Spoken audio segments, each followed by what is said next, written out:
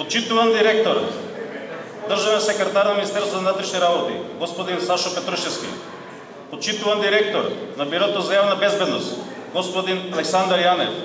Почитуван заменик директор на Бирото за јавна безбедност, господин Арбен Јашари. Почитуван началник на Одел за специјални политички операции Сашо Зенговски. Почитувани членови на семејствата на загинатите припадници, почитувани руководители и представници на Министерството за внатрешни работи почитувани гости, почитувани припадници на единицата за брзо распоредување. Ми представува огромна чест што сме денес овде по повод 23 години од формирањето на единицата за брзо распоредување.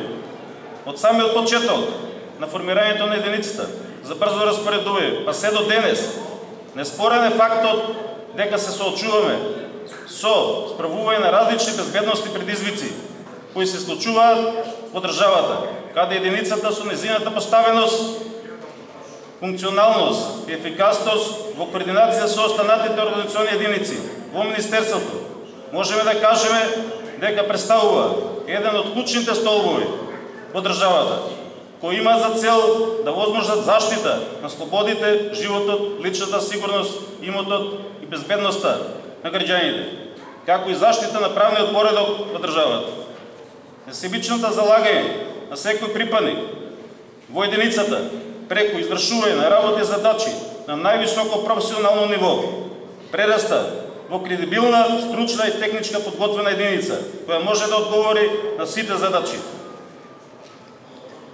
Низ годините наназад, единицата за брзо распредување континуирано се надградува, следејќи ги актуелните безбедности предизвици, кои ја наметнуваат потребата од посебно структурно поставување, материјално-технички надградувања и упраменување, како и обучување на припадниците со тактики и техники со цел единицата да биде подготвена да одговори на сите зададени задачи, секогаш и секаде.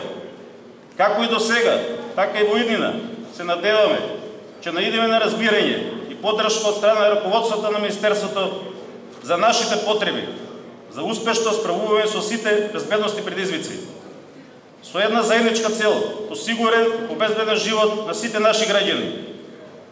Денес пред сите присутни сакам да се заблагодарам на сите поранешни и сегашни припадници на Ебера, кои несебично работничи придонесоа за незиниот развој. Никој од нив ги положија и своите животи, жртвувајќи се за еднината на државата, помножувајќи на сите нас да ги уживаме придобивките од мирот и стабилноста како темел за идните генерации.